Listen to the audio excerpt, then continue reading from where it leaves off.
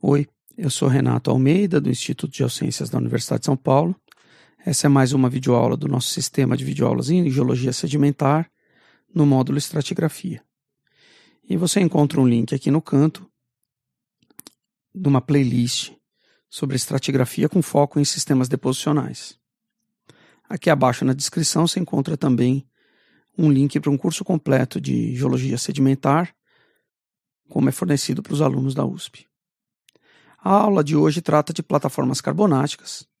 Inicialmente a gente vai discutir o que são, quais são os controles para sua formação, a diferença entre plataformas barradas e rampas, as particularidades de plataformas de águas frias, como plataformas carbonáticas respondem a variações do nível do mar, e, portanto, como eh, são os padrões de estratigrafia de sequências em plataformas carbonáticas, e quais os efeitos no aporte terrígeno na laguna num contexto de variação do nível do mar. Bom, plataformas carbonáticas são uma feição muito frequente no planeta Terra, né? Muitas áreas em margens continentais ou bordeando áreas emersas de outra natureza, edifícios vulcânicos, bancos, é, bancos oceânicos, é, atóis. Muitas margens dessas áreas emersas ao invés de possuir sedimentos clásticos que decorrem da erosão das áreas emersas e o aporte sedimentar por rios, que é o que a gente tem visto nas outras aulas, muitas delas têm sedimentos carbonáticos dominando nessa margem, que não não provém de áreas fonte. Então, aqui nesse exemplo, a gente está vendo uma ilha das Bahamas, em que as fontes são carbonáticas também. Então, o intemperismo aqui é um intemperismo de dissolução, e esse rio não traz sedimentos terrígenos. Portanto, essas águas são muito cristalinas, muito. A zona fótica, a penetração de luz é muito grande. E no trecho agitado dessas águas quentes e com uma ampla zona fótica, você tem a precipitação de minerais de carbonato, calcita e dolomita principalmente. E a maior parte dessa, da massa desses sedimentos gerados é de origem biológica ou bioinduzida. Então é uma lógica completamente diferente de como o sedimento é produzido. Ele é produzido ou in situ, no caso de bioconstruções, ou retrabalhado de áreas próximas dentro do contexto da própria plataforma carbonática. Então a gente tem o conceito de fábrica carbonática, as águas rasas agitadas da zona fótica tem uma taxa de produção de sedimentos carbonáticos elevada. Isso muda completamente a lógica de como de como se dá a variação de, de ambientes, a evolução no tempo e a arquitetura deposicional se você comparar com as plataformas siliciclásticas. Dois fatores são relevantes, então, para a gente considerar como operam, como funcionam as plataformas carbonáticas. Um é que o principal controle na geração de sedimentos é a presença de organismos vivos que têm uma produção de carbonato expressiva. Então, isso tem implicações que diferentes ecossistemas geram diferentes padrões de sedimentação em plataformas carbonáticas, como a gente vai ver hoje, e também que a evolução da vida interfere nisso. Se você comparar uma plataforma mais recente em que a sedimentação é dominada por, por exemplo, corais fazendo recifes externos, alguns corais isolados, bancos esqueletais de conchas e sedimentação fina a partir de fragmentos esqueletais de macroalgas em águas calmas e pensar que no pré-cambriano nenhum desses organismos existia. O que existiam eram estromatólitos que vivem é, nessas zonas de, de intermaré e inframaré inferior, em águas mais rasas e próximas. Você tem uma geometria de rampa diferente da geometria barrada que você encontra nessas águas quentes aqui. Também tem rampas hoje, né? Mas são organismos completamente diferentes que dominam a produção carbonática no pré-cambriano em relação ao que se tem hoje. Isso muda completamente a, o, o sistema deposicional como um todo. Então, a evolução da vida é importante, os diferentes ecossistemas, diferentes temperaturas de água. E também controles físicos. Quais são esses? Então, como a gente viu, águas agitadas vão indiretamente afetar, porque os organismos filtradores precisam dessas águas agitadas, e a penetração de luz, quer dizer, a profundidade da zona fótica.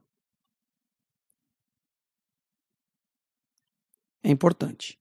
Então, clima, para ver que tipo de organismo vai viver ali, tempo geológico, que tipo de organismo existia, águas agitadas versus águas calmas, penetração de luz na zona fótica. Um controle maior que a gente vê hoje é que se o aporte terrígeno é muito grande, isso inibe tanto a produção de carbonatos por diminuir a penetração de luz, a zona fótica fica muito menor porque as, a pluma em suspensão inibe a penetração de luz, a turvidez da água, e porque a própria sedimentação clástica, aqui eu estou representando decantação, vai gerar uma produção, uma taxa de sedimentação clástica grande e o pouco de que tiver de carbonato vai ser diluído nisso. Então você não vai ter uma plataforma dominada por carbonato num lugar em que o aporte terrígeno é grande. Bom, feitas essas considerações que vocês podem avaliar melhor na videoaula sobre sedimentação carbonática, vai ter um link para isso aí no último slide. Feitas essas considerações, vamos passar então a discutir as plataformas carbonáticas, a variabilidade delas. Essa aqui das Bahamas é, para caber na foto, eu escolhi uma bem estreitinha, mas as plataformas carbonáticas podem ter dezenas a poucas centenas de quilômetros de extensão. Tem algumas muito grandes, né? A, a Grande Barreira de Corais da Austrália, a plataforma adjacente à Península de Yucatán, são muito largas hoje. No passado geológico tem coisas semelhantes também. E elas têm essa morfologia inclinoforma também, como as plataformas siliciclásticas. Então, um trecho de águas mais rasas com declividade menor e uma declividade maior levando águas mais fundas, com uma quebra bem característica. Então, a geometria é basicamente a mesma. Mas tem uma diversidade de ecossistemas e, portanto, de morfotipos e padrões diferentes que a gente vai discutir agora. O modelo mais clássico é de uma plataforma barrada para a situação atual. O que é uma plataforma barrada? É uma plataforma em que um recife de corais, com a grande diversidade aqui de, de organismos, desenvolve uma barreira, porque os corais coloniais vão montar uma estrutura, né, uma bioconstrução, uma barreira para a ação de ondas no que está atrás. Então, uma barreira aqui na, na próximo à quebra para o talude, e isso é uma consequência da dinâmica do sistema, a gente vai ver isso agora, e uma zona protegida da ação de ondas aqui atrás. É, essa zona protegida pode receber o nome de laguna, que é um termo que é usado para outra coisa quando a gente se refere a costas dominadas por por aporte terrígeno. Então, laguna tem uma barreira de areia, né? Aqui não, aqui é uma, um recife e esse ambiente pode ser muito, muito grande, extenso, e tem uma diversidade de processos aqui dentro. Então, enquanto aqui você tem bioconstruções, e isso é controlado principalmente pela zona fótica, e porque o aporte de ondas que vem daqui faz com que as águas aqui na frente sejam agitadas,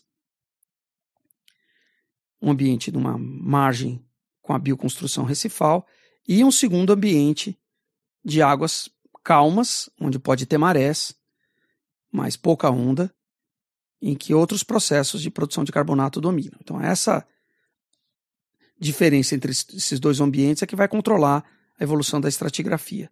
E também aqui na frente, né, lamas carbonáticas e um talos de coisas retrabalhadas no Recife, tempestades podem romper blocos até bastante grandes, mas gera coisas na fração areia, na fração seixo, até coisas bem grandes em blocos. E passando para lamas carbonáticas aqui na, na porção mais distal do talude. esses taludes podem ter ângulos muito maiores do que aqueles dois graus que você vê em plataformas siliciclásticas. Tem coisas realmente íngremes. Na laguna, você tem uma diversidade de processos. Você pode separar, tipicamente, uma parte mais longe do Recife, aqui em, em áreas ainda mais protegidas da ação dos processos oceânicos, em que predomina sedimentação carbonática muito fina, micrítica, principalmente a partir de fragmentos esqueletais de macroalgas, né, de seagrass, que cresce aqui, em ambientes bem calmos. Onde não é tão calmo, você tem agitação e vai ter fragmentação, areias esqueletais, mas também bancos de conchas de bivalves, de moluscos, que formam acumulações de granulação maior. E também podem existir alguns recifes isolados, né, uns patch reefs, pequenos recifes aqui dentro da laguna de corais. Então esse é um ambiente lagunar com todas as suas características também controlado pela, pelos organismos vivos, a sedimentação também é basicamente bioinduzida, mas tem muito micrito, tem areias esqueletais, conchas, alguns recifes isolados, bem diferente dessa região em que você tem o predomínio do crescimento dos recifes de coral e de todos os outros organismos que vivem ali. É uma biodiversidade grande, muitos filos diferentes, mas essa bioconstrução é que domina a, o, o, a massa de sedimentos que acontece aqui. Essa plataforma barrada acontece em águas quentes, isso por causa da limitação desses corais que constrói bioconstruções gigantes em viver em águas mais frias. Um outro ambiente completamente diferente desse vai ser encontrado onde você não tem uma plataforma barrada, mas uma plataforma aberta que se desenvolveu sem essa construção importante lá na frente. É claro que isso aqui é um resultado, né? Não é um dado inicial. Essa geometria ela vai resultar de, da presença do, do Recife permitir que tenha um ambiente calmo atrás. É claro que você pode inicialmente ter o Recife em águas mais rasas. Não é problema. Ah, e que são aquelas rampas que a gente vai ver agora. Então você tem recifes aqui em águas mais rasas ou areias é, carbonáticas. Mas se o Recife está aqui inicialmente, ele gera uma, uma plataforma atrás. Como isso evolui no tempo, é que o Recife marca uma diferença entre uma área de alta energia e uma de baixa energia. Então, ele vai marcar uma, uma área de é, esse limite e daqui para cá naturalmente vai evoluir um talude, porque ele, como a gente vai ver, tem a tendência de de se manter numa mesma posição e conseguir ter uma taxa de sedimentação que acompanha qualquer variação positiva do nível do mar. Então ele faz uma construção vertical, a gente vai ver isso depois, e faz com que esse ângulo aqui se acentue, enquanto que essa zona aqui atrás vai, vai evoluir para essa sedimentação é, a uma taxa menor do que a do Recife, quando a, a, a, subida do nível do mar é rápida. Então, essa é uma geometria que resulta dessa divisão em três ambientes diferentes. É, numa situação em que ou não desenvolve recifes de coral ou eles são incipientes, muito, não consegue fazer uma barreira importante, muito provavelmente eles vão estar aqui em águas rasas. Essas são as geometrias em rampa, que você encontra em muitos lugares também, né? É, tem muitos, é, muitas plataformas carbonáticas com essa geometria. E aqui vai ter uma semelhança importante com, com os ambientes terrígenos, porque isso nada mais é que uma costa dominada por ondas sem aporte terrígeno. Então, na água rasa, você tem uma energia maior, e aqui vai ter areias esqueletais e pode ter uma importante contribuição de areias olíticas. É, para quem não sabe o que é isso, é melhor assistir a aula de sedimentação carbonática para entender. São esférulas ali que se depositam em águas agitadas de precipitação de carbonato de cálcio. Então, as areias olíticas ou areias de fragmentos de conchas numa água rasa, indo para águas mais fundas, você vai ter exatamente aquela mesma distribuição que a gente vê na plataforma terrígena, entre um shore face em que sempre tem agitação por, por ondas de tempo bom, uma transição para offshore em que só ondas de tempestade são capazes de mover o sedimento do fundo, e uma região onde nem as ondas de tempestade afetam mais. Essa aqui vai ter lamas carbonáticas, essa vai ter intercalações entre areias e lamas, vai ter carbonatos laminados com estruturas de onda, e aqui no shoreface, areias, é, sendo areias carbonáticas sendo a deposição principal.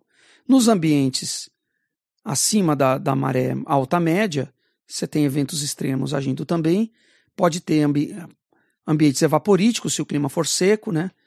É, o, o, mar entra e não tem a, a, tem um déficit hídrico, então a evaporação é maior do que a precipitação e depositam minerais evaporíticos. Pode ter paleossolos, pode desenvolver karst. Então a rampa de águas quentes, ela é um ambiente em que você não desenvolveu uma barreira de corais expressiva e toda a sedimentação é dominada por retrabalhamento por ondas. Mas existem carbonatos também de águas frias.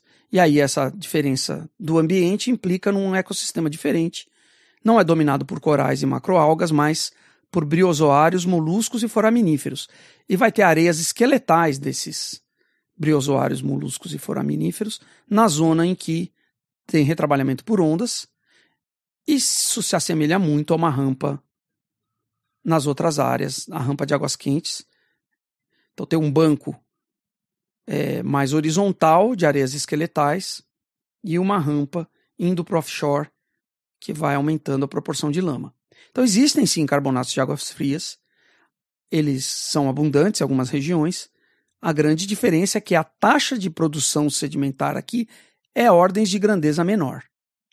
Então, isso tende a não acompanhar as variações eustáticas abruptas. Se o nível do mar subir muito rápido, isso é afogado, que é muito diferente do que a gente observa nas plataformas de águas quentes. Então, quando você estiver lidando no registro sedimentar e vê uma sucessão carbonática, é, principalmente no fanerozoico, é importante você conversar com paleontólogos para saber se essa assembleia aqui pode ser usada como análogo para os nossos atuais de águas quentes ou se é de águas frias. Isso tem uma implicação na taxa de produção de carbonato e, portanto, na resposta aos ciclos de variação dos controles externos e na previsão da estratigrafia. Agora, nesse momento, falando de controles externos, de variação do nível de base e da, da taxa de geração de espaço, tem uma série de videoaulas ali sobre estratigrafia de sequências para quem se interessar ou precisar estudar esse assunto. É importante agora ver a diferença fundamental entre as plataformas clásticas e as plataformas carbonáticas. As clásticas ou terrígenas têm esse padrão de o volume de sedimentos que chega ser distribuído de uma forma que depende da taxa de variação do nível do mar somada à taxa de subsidência. Então, se você tiver mais sedimento chegando suficiente para preencher todo o espaço que é gerado por unidade de tempo, você vai ter um avanço dos sistemas proximais sobre os distais, que a gente chama de progradação. Se a taxa de geração de espaço, por exemplo, o nível do mar subir rápido demais, e você não tiver sedimento suficiente para recobrir toda a forma anterior, acontece um recuo de todos os sistemas deposicionais que a gente chama de retrogradação. E se o nível de base cair, uma parte grande da plataforma é exposta e se desenvolve leques submarinos lá nessas águas profundas porque o nível do mar caiu. Então, isso aqui é basicamente uma história de variações graduais ou abruptas do, do locus de deposição principal, do sítio de deposição. Uma retrogradação faz com que só tenha sedimentos expressivos numa região mais próxima, e aí você tem um intervalo condensado aqui onde muito pouco sedimento chega e você tem pouca sedimentação durante algum intervalo significativo de tempo. Quando o nível de base cai, essa região não está depositando, porque está emersa, exposta, e você transferiu o sítio de deposição para outra região. Então, todo o modelo estratigráfico para plataformas terrígenas ou clásticas é de variação lateral, né, na verdade longitudinal, se você pensar no aporte, do sítio de deposição principal, seja gradual em progradações ou retrogradações, seja abrupta quando você desenvolve superfícies mais importantes. Para carbonatos, a lógica é completamente diferente. Então, como eu estava falando, numa plataforma de águas quentes, seja barrada ou não, a produção sedimentar é muito grande, principalmente nos recifes. Então, o que, que isso, qual que é a, a importância disso? Quando você tem uma subida muito grande do nível de base, os recifes de coral tendem a conseguir se equiparar a essa subida. Então eles são agradacionais. Eles fazem o que a gente chama de keep up. Eles conseguem se manter no nível de base, mesmo com grandes taxas de geração de espaço. Quando a taxa é menor, ele tende a se espalhar, existe uma coisa análoga à progradação. É claro que a laguna tem uma taxa de produção sedimentar menor do que o Recife, então, numa subida rápida do nível de base, você tende a aumentar o desnível entre o topo do Recife e a laguna e gerar mais depósitos de talos dos dois lados, de retrabalhamento do, dos fragmentos do Recife. E quando a taxa de geração de espaço é menor, a laguna pode alcançar e diminuir essa profundidade. Então, o Recife consegue acompanhar subidas rápidas e quando a produção, a geração de espaço é lenta, a produção é grande, ele vai se alargando porque os depósitos de talos aqui de retrabalhamento dos dois lados vão ser recobertos por bioconstruções na zona fótica e ele alarga. Isso é análogo a uma progradação, mas não é só para cá, em direção à laguna também. E a laguna ela, ela responde de uma forma mais parecida com os sedimentos terrígenos. Ela pode não conseguir alcançar, em termos de taxa de deposição de produção de sedimentos, a taxa de geração de espaço. Então ela fica com águas fundas, fica afogada nas taxas grandes de, de geração de espaço e depois nas taxas pequenas ela compensa e vai fazer um, um, um perfil de raseamento para o topo. Então tem uma diferença entre as duas. Mas qual é a consequência disso? A consequência é que a resposta tanto a, a esse efeito aqui do, do que seria o transgressivo, né, subida rápida, quanto às taxas de geração pequenas, análogo ao mar alto, é, seria um empilhamento mais vertical. Os limites entre as faces são verticais. Você não tem variações abruptas laterais ou longitudinais dos, dos sistemas deposicionais. Então, toda a deposição acaba sendo mais vertical, mas a resposta é, é, é totalmente diferente porque o Recife controla isso. Ele tende a manter a sua posição.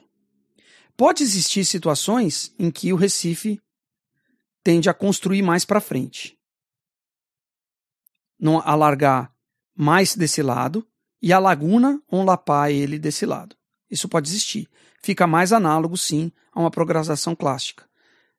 Mas, de maneira geral, o empilhamento é mais vertical e todos esses elementos de um sistema deposicional ativo tendem a manter a posição deles em ciclos de variação estática. Também tem uma diferença muito grande quando você tem a queda do nível de base. Se a queda do nível de base gera uma exposição subaérea e um leque submarino nos sistemas clássicos, ela faz coisa parecida nos sistemas carbonáticos. Você tem sistemas de água profunda, que são retrabalhamento dos fragmentos aqui é, durante quedas do nível de base. Mas a grande diferença é que essa plataforma não vai ser erodida, ela vai ser exposta às águas doces da chuva e vai sofrer principalmente processo de dissolução e geração do relevo kárstico. Então, os limites de sequência subaéreos em plataformas carbonáticas são superfícies de paleokarst, com toda a complexidade que elas têm, que é muito grande, né? Por outro lado, esses sistemas de lexo marino, eles são é, eles diferem dos terrígenos em alguns aspectos. Primeiro, porque esse ângulo do talude é maior. Então, grandes blocos podem se romper e estar presentes aqui. Uma coisa que é frequente acontecer, uma coisa que pode acontecer é a presença de fragmentos muito, muito grandes, olistólitos, que podem ter dimensões tão grandes. Então você rompe uma parte gigante aqui do, da plataforma, porque esse talude realmente é de alto ângulo, e ele se coloca esse se coloca no meio de uma sucessão anterior, é claro que promovendo muita deformação do que estava embaixo, nas águas fundas aqui, e esse bloco grande que escorregou, um olistólito, se você fizer uma investigação, perfurar um poço, você pode achar que ele é uma sucessão que depositou nessa época, mas aí você vê que os fósseis que contém aqui apontam para uma idade uma idade discrepante. Então eles ele, a deposição foi numa época, teve sedimentação aqui embaixo depois disso, e esse bloco mais velho escorregou para cá depois. E depois outra sedimentação mais jovem em cima. Eles podem ser muito grandes mesmo, né? ter quilômetros de, de extensão. Isso é uma diferença muito grande dos depósitos de água funda em plataformas carbonáticas, a presença desses blocos gigantes que podem escorregar. E também, mas de resto, tem coisas semelhantes, correntes de turbidez e coisas semelhantes a isso. Então são os sedimentos retrabalhados da plataforma e aqui, com esses ângulos altos, pode haver rupturas aí, né, gigantescas e situações muito diferentes. Você jamais vai encontrar uma coisa análoga a essa numa plataforma é, terrígena. Mesmo porque numa plataforma carbonática você tem litificação precoce, como a gente é, pode ver em outras aulas relativas à diagênese. Então, essas são as diferenças fundamentais. Isso é uma estratigrafia de sequências diferente para carbonatos. E, é claro, vai depender, essas características que eu falei aqui, vão depender da taxa de produção sedimentar. Então, recifes em águas quentes, no, no contexto atual, tem uma produção que é capaz de, de suportar a maior parte das variações eustáticas se mantendo no mesmo lugar. É claro que a, a variação do nível do mar no Holoceno, com esses 120 metros em, em alguns milhares de anos, né? 10 mil anos, é uma taxa muito, muito alta, você não encontra registro disso com facilidade no tempo geológico desde que a gente consegue observar. Essa variação muito grande conseguiu fazer com que alguns lugares você tenha sim um step back, um recuo da posição de uma plataforma carbonática. Um recife de coral era aqui, passou para cá, porque a taxa de subida foi tão grande que nem a produção dos recifes foi capaz de suportar uma taxa tão grande. Mas isso é um fenômeno raríssimo. Agora, outros tipos de plataformas, como por exemplo essas de águas frias, não vão ter esse comportamento de conseguir suportar as variações e vão reagir de uma forma mais análoga à plataforma terrígena, porque a produção sedimentar é menor. E para finalizar, a gente tem que lembrar que existem híbridos, né? A gente fala aqui em plataformas carbonáticas e plataformas terrígenas, mas existem plataformas carbonáticas com algum aporte terrígeno na laguna. Ele não é suficiente para gerar águas turvas no sistema inteiro. Ele vai gerar águas turvas só numa certa região aqui, da parte interna da laguna. Aqui sim a, sedimentação carbonática é inibida, mas você tem o resto do sistema se comportando como uma plataforma carbonática, porque esse aporte é pequeno e o delta está confinado numa região da laguna. Mas mesmo sendo pequeno, ele pode ter um efeito muito grande no caso de uma queda no nível do mar. Porque se o nível do mar cai, claro, ele vai ser arrasado, erodido, toda a parte carbonática vai virar karst, só que aí você tem um aporte direto nessa região de declividade maior. A produção sedimentar total em massa numa plataforma carbonática vai depender da largura dela. Quer dizer, o quanto você tem de área na zona fótica. Toda a queda do nível de base gera uma crise para as plataformas carbonáticas, porque você leva o nível do mar para uma região mais de maior declividade, e essa declividade pode ser grande, então você restringe muito a área da zona fótica. Mas se você tiver um pequeno delta na laguna e ele continuar funcionando durante a queda do nível do mar, essa pequena área aqui da zona fótica vai estar sujeita a um aporte terrígeno e ficar turva. Então, como a área encolheu, aquele aporte pequeno é suficiente para matar completamente ou quase completamente a fábrica carbonática. Então, a sua plataforma carbonática deixa de funcionar durante a queda do nível do mar, porque tem algum terrígeno chegando aqui. Se não tiver o terrígeno, ela reduz bastante gera, gera problemas de espaço, nichos ecológicos que somem, competição por, por uma zona fótica pequena. É claro que os corais vão, vão vencer. Mas se tiver terrígenos, você mata a fábrica inteira. E você pode imaginar uma implicação que isso tem numa escala global. Se a queda do nível do mar no mundo inteiro é síncrona, né, por efeitos climáticos aí, né, de eras glaciais, por exemplo, né, concentração de água em massas é, em massas de geleiras continentais. Então, em muitas plataformas do mundo está acontecendo isso. Nas outras está acontecendo uma queda e uma redução abrupta. Então, gera uma crise no, no, nos ecossistemas de plataformas carbonáticas no mundo inteiro. E, de fato, a gente vê uma relação entre esses eventos de queda do nível do mar e extinções em massa de, de fauna marinha no registro do Fanerozoico. Então, esse fenômeno é importante e é acentuado em plataformas mistas em que existe um aporte sedimentar dentro da laguna, que pode não ser significativo durante a, as, as, os períodos de subida do nível do mar, mas é uma bomba relógio esperando para matar a plataforma carbonática inteira quando o nível do mar cair. Era isso que eu tinha para falar na aula de hoje. Muito obrigado.